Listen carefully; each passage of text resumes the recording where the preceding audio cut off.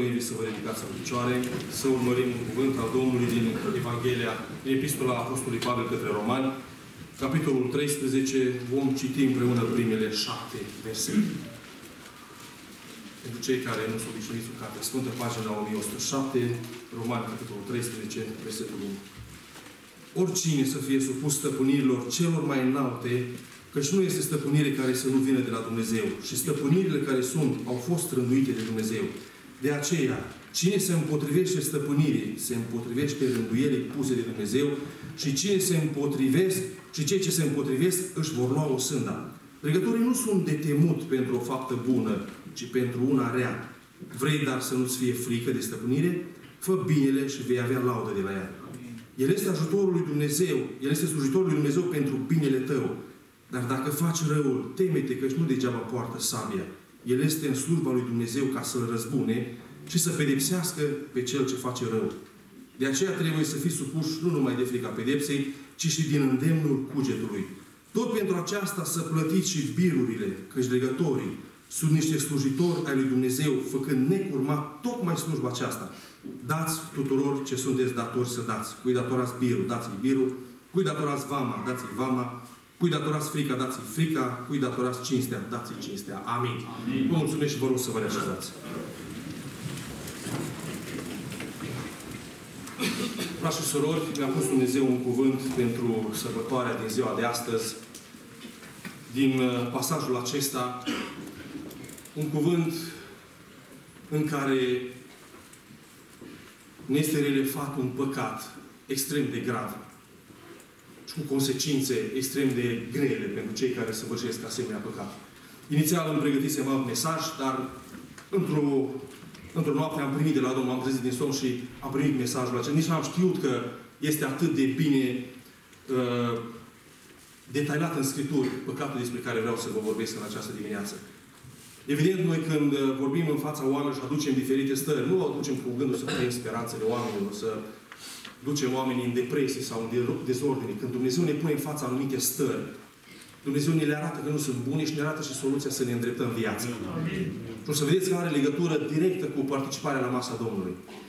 Aici am citit, Biblia spune în uh, versetul 2, de aceea oricine se împotrivește stăpânirii, se împotrivește rânduielii puse de Dumnezeu și cei ce se împotrivesc. De trei ori, în versetul acesta este amintit un păcat. Păcatul împotrivirii sau respingerii, a neascultării, a răzvrătirii. E un câmp semantic de cuvinte. Și despre păcatul acesta vreau să vă Nici nu știu că e atât de bine definit în Scripturi. Acum, în dimineața asta, am ales textul acesta în mă gândeam și lui când l-am citit, că nu l-am citit de multă vreme. Mă gândeam să merg așa din prin Scripturi într-o parte, dar am zis, e bine să mă uit că aici e cel mai bine definit păcatul acesta și consecințele lui. Uitați de unde vreau să pornesc. În cartea Eclesiastul, vreau să deschideți împreună cu mine în capitolul 5, uh, versetul 8, este prezentat Dumnezeu ca și stăpân al tuturor lucrurilor ca și suveran peste toate lucrurile. Și spune aici, când vezi în țară pe cel sărac, năpăstuit și jefuit în numele dreptului și dreptății, să nu te miri de lucrul acesta, că peste cel mare veghează altul mai mare și peste ei toți cel prea înalt. Amin. Dumnezeu am citit în această zi că este autorul și este cel care a instituit toate autoritățile, toate stăpânirile. Citim aici, Oricine să fie supus stăpânirilor celor mai înalte, căci nu este stăpânire care să nu vină de la Dumnezeu și stăpânirile care sunt, au fost rânduite. Toate ierarhiile de autorități, și o să vedem în trei sfere de autoritate, sunt rânduite de Dumnezeu. Și cine se împotrivește, comite un păcat extrem de grav. Un păcat pentru care, de multe ori, este trecut cu vederea. De aici să rupă adunări, de aici să fac tot felul de lucruri, de aici să ajunge la prăbușiri, datorită acestui păcat. Dumnezeu ca și stăpân absolut peste tot ce există, își manifestă autoritatea Lui de Dumnezeu asupra unei țări de bună oară, asupra statului german, asupra României, asupra tuturor popoarelor care sunt în lumea asta, prin guvernele și președinții care sunt lăsați acolo. Și am citit aici că nu trebuie să ne împotrivim pentru că vin de la El. El le-a hotărât și îl stăpânește peste poporul acela prin oamenii care i-a delegat să stăpânească și să conducă țara respectivă. Venim la noi în biserică, pentru că în mod deosebit pe noi ne vizează mesajul acesta. Dumnezeu își exercită autoritatea asupra bisericii. Autoritate de stăpân, absolut, asupra bisericii. Prin slujitorii care au fost rânduiți aici, în casa Domnului, și vă citesc în Evrei, capitolul 13, versetul 17. Ascultați de mai mari voștri și fiți-le supuși. Că cei priveghează asupra sufletelor voastre ca unii care au să dea socoteală de ele, pentru ca să poată face lucrul acesta cu bucurie, nu suspinând că așa ceva nu va fi de niciun folos. Asupra bisericii Maranata de Bulară, Dumnezeu și exercită autoritatea prin cei care sunt puși aici, asupra departamentelor care sunt aici, vreo 10 s-au amintit joi seară, prin liderii acelor departamente, Dumnezeu să exercită autoritatea Lui. Și cine se împotrivește acelor autorități, comite un păcat. Chiar dacă sunt departamente mici, neînsemnate. Cât privește familia, citesc din Cartea Efeseni, capitolul 6, copii, ascultați în Domnul de părinții voștri că e drept. Asupra copiilor, asupra tinerilor, și se atinge și pe ei astăzi, Dumnezeu își exercită autoritatea prin mama și tata care ți-o dat Dumnezeu. Prietenii poți să-ți alegi, școala să poți alege, dar mama și, mama și tata n-ai cum să-ți alegi. Aia ți dați de Dumnezeu și prin ei Dumnezeu stăpânește asupra copiilor și asupra tinerilor. Duminica trecută am fost cu fratele Nelu și cu Marian la ordinare la forță și am avut un gând acolo pentru, uh, potrivit cu lucrarea ce a fost acolo de ordinare, și am amintit din Efeseni și vreau să iau ideea aceasta pentru că de aici vreau să pornesc, să merg mai departe. Dumnezeu a rânduit în biserică unelte, oameni, prin care să-și zidească. Domnul Iisus a spus că El zidește biserica. Și spuneam că El este stăpân tot prin oameni. El își zidește biserica prin oameni. În Efeseni aici 4 spune că El a dat apostoli, proroci, evangeliști, păstori, învățători pentru zidirea bisericii. Prin ei îi zidește Dumnezeu biserica. Prin slujitori, prin guvernanți, prin lideri, Dumnezeu își exercită stăpânirea și autoritatea și conduce grupurile, bisericile și popoarele prin oamenii delegați acolo. Și aici modul de a zidi biserica este un mod divers. Iau ce a spune și repet ideile astea care le-am avut acolo. Un mod de a zidi biserica, citesc aici ce spunea Pavel lui Timotei, în 2 Timotei, în capitolul 4, spune aici, nimeni să nu-ți disprețuiască tinerețea, fi o pildă pentru credincioși în vorbire, în purtare, în dragoste, în credință, până voi veni ia seama bine la îndemnare, la învățătura pe care dai altora. Nu fi nepăsător de darul care ți-a fost pus, care ți-a fost dat prin punerea mâine cu ceata prezbiterilor. Fii culoarea minte, versetul 16, asupra ta însuți și asupra învățăturii pe care o dai altora. Stăruiește în aceste lucruri. Învățătura, îndemnare, sunt modalități prin care Dumnezeu, prin oameni, edifică și zidește biserica. Părinții, prin învățătura care o dau copiilor, zidesc și edifică copiii. Liderii de departamente, prin ceea ce învață, zidesc acele grupuri care le sunt încredințate. Ce spune aici cuvântul Domnului? Citesc iarăși în 2 uh, Timotei, în capitolul 4, de data aceasta, spune versetul 5, dar tu filtrează în toate lucrurile, rabdă uh, suferințele, fă lucrului unui evanghelist și împlinește-ți bine slujba. Iar mai sus, a împlinit bine slujba, a zidit biserica. Spune aici mai sus, propovedește cuvântul, stăruiește asupra lui la timp și ne la timp, mustră, ceartă, îndeamnă cu toată blândețea și învățătura. Sunt metode de a zidi biserica.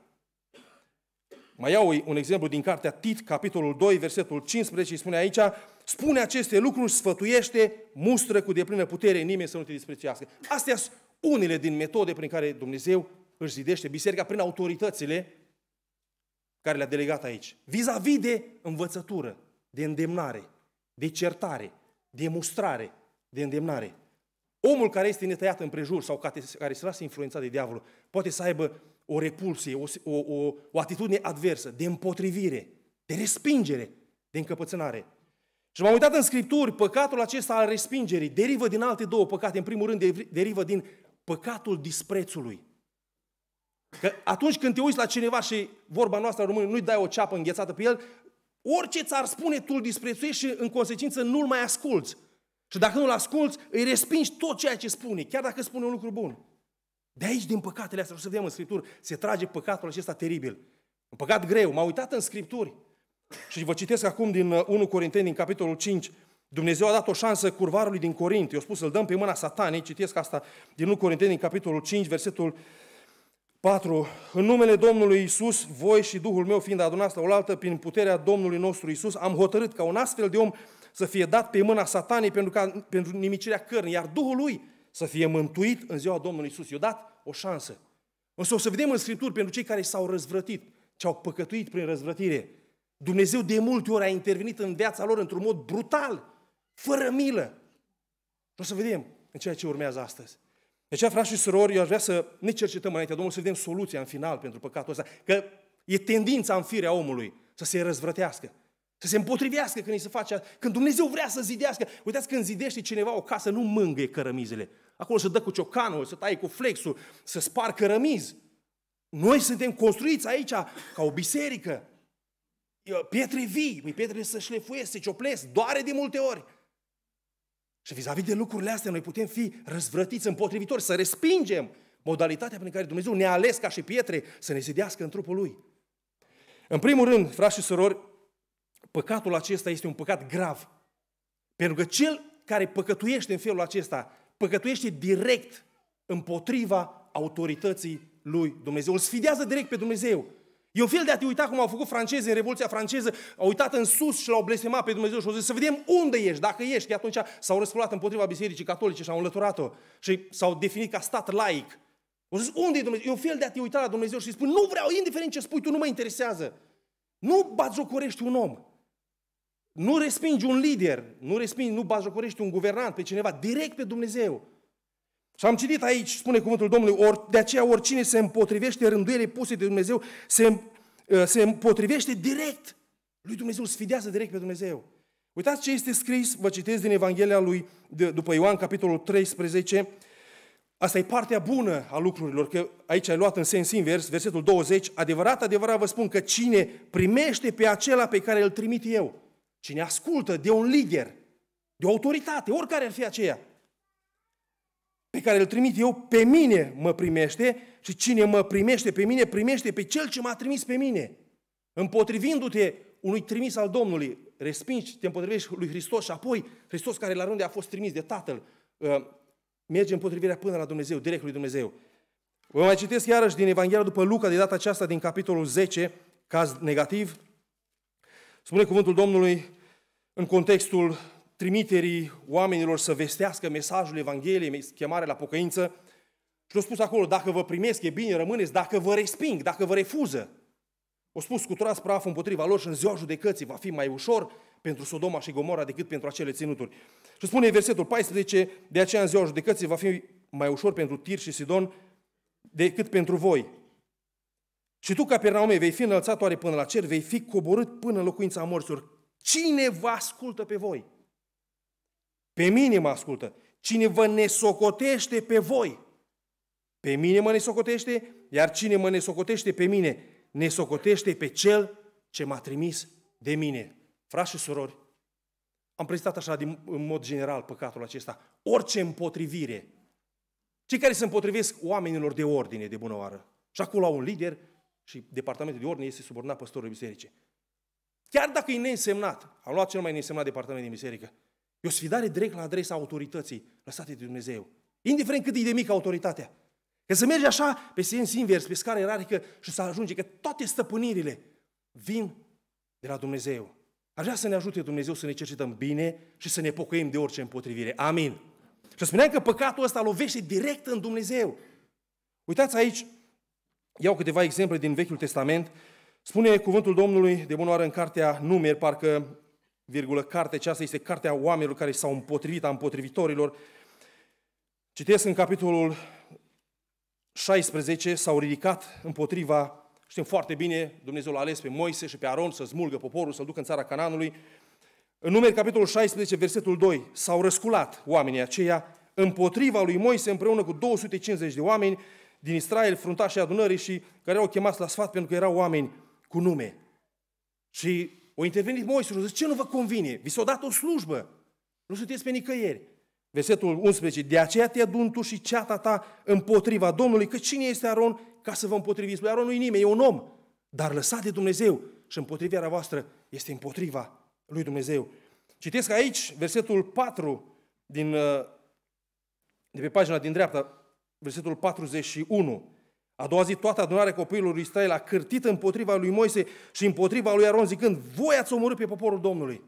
Și Dumnezeu, care s-a simțit sfidat direct de răzvrătirea lor, au zis versetul 45, dați-vă la o parte din mijlocul lor acestei adunări și îi voi topi într-o clipă.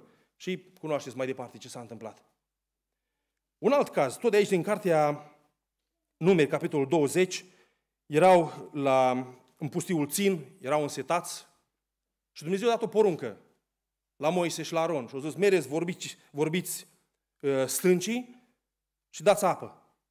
Și ei s-au dus, spune aici, Aron, versetul 11, a ridicat mâna, a lovit stânca de două ori cu toiagul și a ieșit apă din belșug și a săturat poporul. Numai că Dumnezeu a zis aici, pentru că n-ați crezut în mine ca să mă sfințiți înaintea copiilor lui Israel, nu, voi, nu voi veți duce adunarea aceasta în țara pe care i-o dau. S-au împotrivit direct autorității lui Dumnezeu.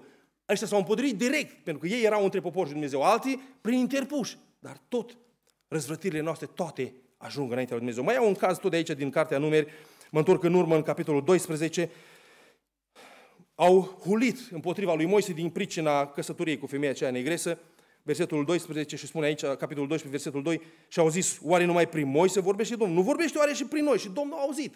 Și au zis, cum de nu v-ați înțeles? Voi? Nu, eu vorbesc prin tot felul, dar zice, nu-i tot așa cu Moise. Ăsta are un statut special înaintea mea. Nu tot așa este cu robul meu Moise, el e credincios în toată casa mea. Eu îi vorbesc gură către gură, mă descoper lui, nu prin lucruri grele de înțeles, ci el vede chipul Domnului. Cum de nu v-ați temut deci să vorbiți împotriva robului meu, împotriva lui Moise? Și cunoaștem că Dumnezeu a luat atitudine, s-a simțit el ofensat, era sfidată direct autoritatea lui Dumnezeu. Cred că am amintit aici cu ceva timp în urmă, că mergeam din Italia către Franța și acolo cu un cobor de la Menton, e o coborâre foarte, foarte lungă pe coasta de Azur, și la prima casă de taxare pe autostradă mai stau jandarmeria și poliția, pentru că e aproape granița cu Italia și verifică. Într-o zi, cobor de pe deal cu 40 de tone la vale și la o casă de taxare mi o fătuță. Fetișcane, vreo 20 ceva de ani, subțirică, m-am și gândit la ea, zic, cum de stai aici, că de obicei bat niște vânturi foarte groaznice acolo. O venit în față și m-a oprit. Gândiți-vă că aveam 40 de tone. Mai puteam spune, ce cauți tu în fața mea aici? Ia, ia-te la trântă cu mine. M-am dat pe o margine și m-am oprit și am M-a întrebat de sănătate, de unde vin, unde merg. Păi eu puteam să trec mai departe. Era o fată ca o frunză în fața, în fața mea. Nu s-au apucat să, să ridice să-mi răstoane de dacă nu te oprești să te răstoan cu camionul aici, să-l aruncă în prăpaste. Nu! Autoritatea de la Paris i-a dat putere și împotrivindu-mă ei, sfidam toate legile care vin de sus până jos. De aia, frați și surori, Dumnezeu n-a ales de multe ori oameni care să sperie, să îngrozească. Pentru că chiar dacă sunt neputincioși, slabi, cu lipsuri de multe ori, dar atâta vreme cât sunt autorizați de Dumnezeu, oamenii trebuie respectați oriunde ar fi puși. Pentru că păcatul acesta lovește direct în autoritatea lui Dumnezeu. Să ne ajute Dumnezeu să respectăm tot ceea ce este în mijlocul nostru. Amin. În al doilea rând, păcatul acesta este un păcat grav pentru că atrage după sine consecințe extrem de grele și extrem de grave. Am citit aici versetul 2, de aceea cine se împotrivește stăpânirii, se împotrivește rânduielii puse de Dumnezeu și oricine se împotrivește își va lua o sânda, pedeapsa. Și mă întorc acum iarăși din nou. Citesc cazurile care le-am amintit din numeri din capitolul 12, când Maria s-a ridicat și l-a bajocorit pe Moise. Dumnezeu a lovit-o pe loc cu lepră. Din cauza ei o stat tabăra câteva zile. O staționat tabăra, s-au produs tot felul de lucruri. Pentru că Dumnezeu pedepsește lepra. Aici a fost un caz ușor. Mă întorc acum și iau cazul lui Moise și al lui Aron din cartea numeri din capitolul 27 de data aceasta, e consecința neascultării și a împotrivirii față de porunca lui Dumnezeu de a vorbi stâncii, nu de a lovi cu, cu toiagul. Versetul 12 din numeri 27. Domnul a zis lui Moise, suite pe muntele acesta Abarim și primește, privește țara pe care am dat-o copiilor lui Israel. Să o privești, dar tu, dar și tu și vei fi adăugat la poporul tău cum a fost adăugat Aron, fratele tău, pentru că v-ați împotrivit poruncii mele în pustiul țin. Împotrivirea față de planul lui Dumnezeu, față de ceea ce Dumnezeu hotărăște, costă scump. Au făcut atâtea minuni în țara ca noi. Spunea fratele Liviu Axinti când a fost la Frankfurt la conferință cu slujitorii. Zice, uite că ă, aici Moise, aparent a avut un succes, chiar dacă s-a împotrivit. Eu mers bine, o dat apă, o sătura mulțimile. Și spunea, bine, adună mulți, mulțimi, după ea au succes. E un succes fals. Și aparent Dumnezeu a dat apă atunci, nu că s-a temut de Moise și de toiagul lui, Dumnezeu a dat apă și a trecut peste împotrivirea momentană că trebuiau adăpați mulțimile alea de oameni, trebuia adăpată mulțimea respectivă. Dar prețul a fost plătit scump de tot. Să faci minuni, să scoți Dumnezeu să te folosească cu braț puternic, să scoți poporul. Și totuși, într-o zi să spună Dumnezeu că te-ai împotrivit, nu vezi Canaanul și nu l-a văzut. Da? E o lecție pentru noi. Mă întorc acum iarăși în capitolul 16 la cazul lui Core, Datan și Abiram. S-au răzvătit împotriva slujitorilor și am amintit că s-au ridicat împotriva lui Dumnezeu. Dumnezeu s-a înfuriat. Și foarte bine ce consecință. O intervenție brutală, 250 de oameni, cu familii, cu tot. Spune aici că i-au înghițit pământul, s-a desfăcut și au, au intrat de vii, s-au speriat oamenii, s-au îngrozit, au plecat. Ce, ce tragedie să fii un om răzvrătit și împotrivitor. Nu împotriva, că ei n-au văzut, măcar că vedeau slava lui Dumnezeu coborându-se deseori peste norul respectiv. Totuși, păcatul ăsta o trebuie să plătească scump pentru el. 250 de oameni. Aparent, succes. S-au ridicat 250 împotriva a doi. Zis, îi terminăm repede. Dacă n-au văzut că dincolo de toate era un Dumnezeu care îi stăpân și Dumnezeu nu s-a lăsat bajocorit și călcat în picioare. Mă adresez acum tinerilor. În judecători, în capitolul 16, uh, în capitolul 14, Dumnezeu a lăsat părinții și a spus în lege să cinstești pe tatăl tău și pe mama ta, să asculți.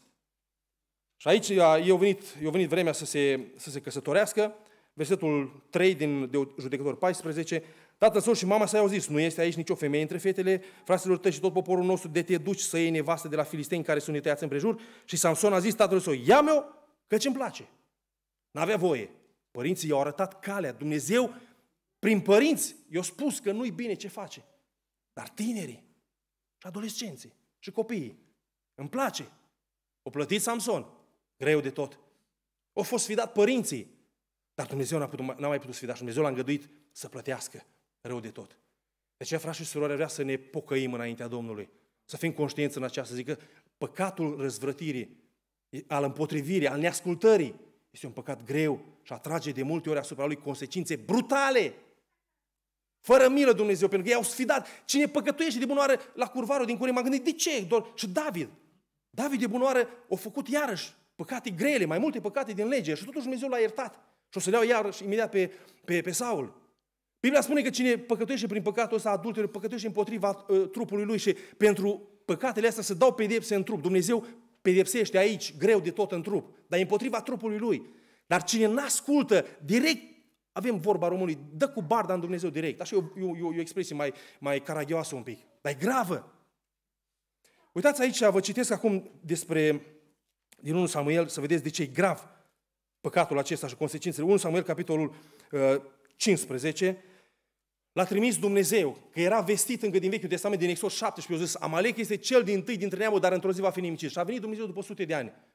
Vremea să împlinească ce a promis lui Iosua și prin sabia lui Saul și a poporului Israel să încheie socotele cu acest popor de păgâni, cu amaleciții. Și spune Dumnezeu, du-te, Domnul i-a vorbit lui Samuel, du-te și spune la Saul să meargă să pedepsească pe Amalek, că vreau să șterg pomirea de sub ceruri. N-a ascultat de cuvântul lui Samuel, știm foarte bine, s-a dus, a călcat cuvântul lui Dumnezeu în picioare și uitați aici ce spune versetul 22. Samuel a zis, îi plac Domnului ardele de tot mai, uh, și jertfele mai mult decât ascultarea de glasul Domnului? Că spuneam că prima dată e nesocotirea, disprețul. Și apoi nu asculți și te împotrivești, faci ce vrei, respingi. Îi plac Domnului mai mult arele de tot și jertfele de ascultare de glasul Domnului. Ascultarea face mai mult decât jertfele și păzirea cuvântului său face mai mult decât grăsimea berbecilor. Căci neascultarea este tot atât de vinovată ca și ghicirea și împotrivirea de care vorbim azi. Nu-i mai puțin vinovată decât închinare la idoli și la terafimi. Așa că cineva, dacă se duce și face practici, practică lucruri oculte, e la fel de vinovat ca și unul care se împotrivește. Ori te împotrivești, ori faci lucruri malefice, intri în lumea spiritelor demonice, practici oculte, vrăjitorii, ocultism, e la fel de vinovat. Și Dumnezeu aici pe Saul l-a prăbădit. În capitolul 28, tot de aici din 1 Samuel, mă citesc în uh, versetul 1 Samuel, capitolul 28, versetul 16, Samuel a zis, pentru ce mă întrebi pe mine când Domnul s-a depărtat de tine și s-a făcut vrăjmașul tău? Domnul îți face așa cum îți vestinse din partea Lui, a rupt împărăția din mâinile tale și o dă altuia. N-ai ascultat de glasul Domnului. N-ai făcut pe Amalek să simtă aprinderea mâniei Lui. De aceea îți face Domnul astăzi așa. Și spune aici, chiar Domnul va da pe Israel împreună cu tine în mâinile filistenilor și tu și fiii tăi veți fi împreună cu mine. Va da tabăra lui Israel în mâinile filistenilor și au, au murit în cel mai scurt timp. Pentru că răzvrătirea începe cu disprețul, batjocura, disprețul, devalorificarea, defăimarea acelui om care e lăsat ca autor. Poate e cacofon, poate e agramat, dar să aibă o inimă curată, o inimă după inima lui Dumnezeu. Poate nu-i școlit, dar ai o inimă curată.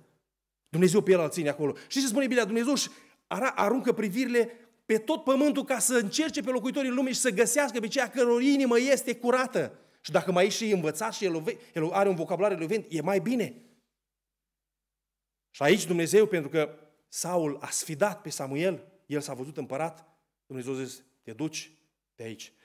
Uitați ce citesc în cuvântul Domnului din 1 Tesaloniceni, aici spune cuvântul Domnului în capitolul 4, versetul 8, referitor la învățături și la ceea ce vorbim aici. De aceea ce ne socotește aceste învățături, ne socotește nu pe un om, ci pe Dumnezeu care v-a dat și Duhul Său cel Sfânt. Și citesc iarăși din uh, epistola lui Pavel către Timotei, pare mi se din 1 Timotei, acum mi-am adus aminte, aici este scris despre două oameni care s-au împotrivit. Și îți dați exemplu, 2 Timotei, capitolul 3, versetul 8, după cum Iane și Iambre, nu se spune prea multe, îți de părere cercetătorii biblică, ar fi dintre vrăjitorii aceia care uh, s-au împotrivit lui Moise în Egipt. După cum Iane și Iambre s-au împotrivit lui Moise, tot așa și oamenii aceștia se împotrivesc adevărului ca unii care sunt stricați la minte și o sândiți în ce privește credința. Dar nu vor mai înainta căci nebunia lor va fi arătată tuturor cum a fost arătată și acelor doi oameni. Și întărim ideea aceasta Păcatul răzvrătirii, a neascultării, a împotrivirii, atrage intervenții brutale de multe ori din partea Domnului și nu ne dorim lucrul ăsta.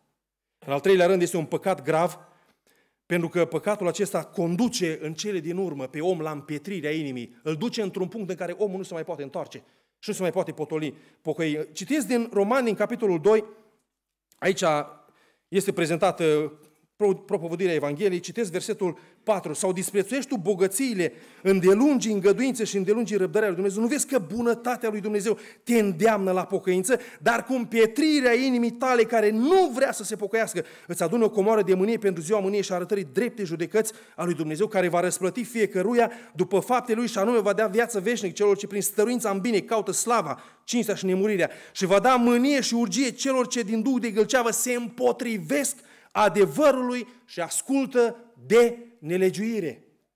Biblia spune despre, aici tot în, în cartea Romani, spune că Dumnezeu l-a ridicat în adins pe faraon ca să-l pedepsească. Dar știți când i-a împietrit inima lui faraon? Citim în, în cartea Exod de bunoare, capitolul 9, uh, versetul versetul 15. Spune aici, dacă mi-aș fi întins mâna și te-aș fi lovit cu ciumă pe tine și pe poporul tău, ai fi perit de pe pământ, dar te-am lăsat să rămâi în picioare ca să vezi puterea mea și numele meu să fie vestit în tot pământul. Și citesc undeva, acum îmi scapă din minte, spune aici, da, verset, capitolul 7, versetul 3, spune aici, eu voi împetri inima lui Faraon, îi voi mulți semnele, îmi voi mulți semnele și minunile în țara Egiptului. Și dacă vă uitați mai târziu, au fost câteva urgii în care Dumnezeu nu a vrut să-l împietrească. Eu înțeleg de acolo că Dumnezeu, la început, ca să nu poată fi acuzat Dumnezeu că e un Dumnezeu rău, nu, nu l-a împietrit din prima. Au făcut câteva minuni. Au făcut semne și minuni înaintea lui. I-au arătat cine e Dumnezeu. Dar pentru că n-a ascultat, s-a împotrivit de fiecare dată oamenilor trimiși, autorității trimise de Dumnezeu, Moise și Aron. Dumnezeu a zis la un moment dat, de data aceasta, o să vă împietresc inimile. Și acum, în capitolul 14, versetul 17, eu voi împetri inima egiptenilor ca să intre în mare după ei și faraon și toată oastea lui, carele și călăreții lui vor face să se arate slava mea. Când omul nu se pocăiește, de-aia Dumnezeu ne trimite câte un mesaj. Mă gândeam, am zis, îl iau pentru mine, să nu... Dar am zis, da, dacă cumva Dumnezeu a trimis pe unul aici care e neascultător și împotrivitor și poate e ultima șansă pentru el. De ce să-mi ceară sângele Dumnezeu din mâna mea într-o zi? Să spune, te-am trimis atunci să predici și ăsta s-a răzvătit în continuare, trebuie să-l pedepsesc. De ce să fiu? Nu trebuie să ne facem vinovați. Noi spunem adevărul și v-am citit doar din Scripturi. Dumnezeu pentru omul care nu se lasă în duplica, care nu se pocăiește. Îl duce într-o zi și aduce Dumnezeu într-o zi în pietrirea și am întâlnit cazuri în care oamenii au ajuns în punctul în care nu s-au mai putut pocăi. Oricât i-au cercetat Dumnezeu, cât de bine a fost în adunare, orice a fost, nu s-au mai putut, Dumnezeu le-a împietrit inima. Și Dumnezeu face lucrul ăsta pentru cei care comit în mod repetat răzvrătirea și neascultarea. Uitați aici ce soluție are Cuvântul lui Dumnezeu pentru, pentru a scăpa de păcatul acesta. În Iacov spune Cuvântul Domnului în capitolul 1, dacă îi lipsește cuiva 1 cu 5, dacă vreuna dintre voi îi lipsește înțelepciunea, să de la Dumnezeu care dă tuturor cu mână largă și fără mustrare și ea îi va fi dată. Vreau să înțeleg de aici că un om fără minte, fără judecată, e omul care e încăpățânat și răzvrătit. Și uitați ce spune tot în Iacov. Cine dintre voi este înțelept și priceput să-și arate prin purtarea lui bună faptele făcute cu blândețea înțelepciunii? Dar dacă aveți în inima voastră pisma mare, duh de ceartă, să nu vă lăudați și să nu mințiți împotriva adevărului, a cuvântului Scripturii. Înțelepciunea aceasta nu vine de sus, ci este pământească, firească, drăcească. Căci acolo unde este pismă și duh de ceartă este tulburare și tot felul de pofte bune. Și nu ceartă, e împotrivire, e neascultare, e răzvrătire. Nesocotirea autorităților, disprețul, de faima, de făimarea. Și acum uitați ce spune Scriptura, înțelepciunea care vine de sus. Și asta e soluția, cererea de la Dumnezeu a înțelepciunii, să știm să ne purtăm bine, să știm să acceptăm voia lui Dumnezeu în viața noastră, să vezi ce scop are Dumnezeu. Înțelepciunea care vine de sus este întâi curată, pașnică, blândă, ușor de înduplecat, plină de îndurare și de roade bune, fără părtinire, nefățarnică. Și uitați una din caracteristicile înțelepciunii care vine la Dumnezeu. Că sunt unii, unii de căpoși ce îs. Mai deștepți decât Einstein. Și lor nu le poți spune nimic, ele știu tot, îi resping tot. N-ai ce să discuți cu el. Dar ea nu e o înțelepciune de sus. Biblia spune în proverbe că cel care se împotrivește tuturor mustrărilor va fi zdrobit deodată și fără leac. Îndemnul și mustrarea sunt calea vieții, spune, spune Cartea Sfântă. Și acum înțelepciunea care vine de sus este, printre altele, este antonim. Un om respingător, încăpățânat, vis-a-vis de un om care e ușor de înduplecat. Este un antonim. Ori ești ușor de înduplecat și ai înțelepciune de sus, ușor de sfătuit, ușor de prelucrat, Ești un, o piatră care este ușor de așezat în zid, nu trebuie ciocănit, nu trebuie lovit cu dalta, nu sunt împotriviri. Asta e dovada că e înțelepciunea de sus, de la Dumnezeu. Dumnezeu din cer să ne sensibilizeze inimile în această zi. Și oricât de mare sau de mic ar fi împotrivirea, este un păcat de la lucruri mici să ajunge la lucruri mari. Dumnezeu este închei, Dumnezeu este autoritate și are dreptul asupra trupului său, și vă citesc acum din Romani, din capitolul 12, spune aici că după cum într-un trup avem mai multe mădulare și n-au toate aceeași slujbă, tot așa și noi care suntem mulți, suntem aici 100 și cel puțin membri, peste 170 în biserică, tot așa și noi care suntem mulți, alcătuim un singur trup în Hristos, dar fiecare în parte suntem mădulare unei altora. De ce păcatul ăsta ne scoate afară și nu ne permite să stăm la masa Domnului? Pentru că în momentul în care un tânăr se împotrivește liderilor care sunt acolo și e botezat în apă, Păi mâna mea nu mi s-a împotrivit piciorul niciodată. În, în trup, aici e o metaforă pentru trupul bisericii, într-un trup sănătos. Nu se ceartă ochii cu picioarele sau urechile cu, cu mâinile.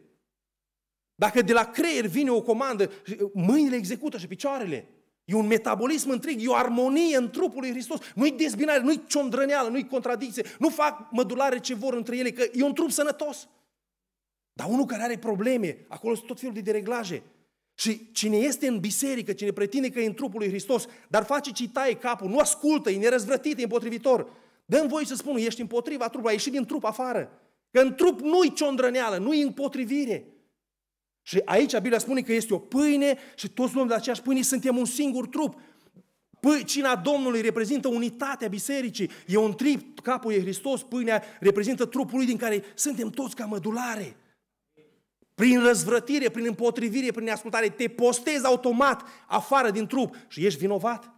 Iar masa Domnului este pentru trup, pentru cei care fac parte din trup. Frați și surori, a fost un cuvânt greu. Am vrut să renunț la el, dar am zis, să, să se supere. Dacă se supere cineva, n-are decât întristare care vine după voia Domnului, aduce pocăințe de care nimeni nu-i pasă. Să știu că sunteți mântuiți într-o zi, că dacă vă supărați pe mine, asta trece. Frați și surori, ar vrea să primim cu seriozitate. Cred că mesajul ăsta, și o să urmărim lucrurile astea, Cred că mesajul ăsta o să ne ușureze slujba la toți de azi înainte. Începând cu fratele păstor, comitetul, liderii de departamente, toți care sunt aici. O să-și facă fiecare treaba lui, o să fie supus și ascultător în locul în care este. Dumnezeu din cer să ne binecuvânteze cu ascultare de plină. Amin. N-a să bine. Dumnezeu să binecuvânteze biserica cu ascultare și cu unitate de plină. Amin. Amin. Slăvit să fie Domnul, frați și surori, depinde de noi,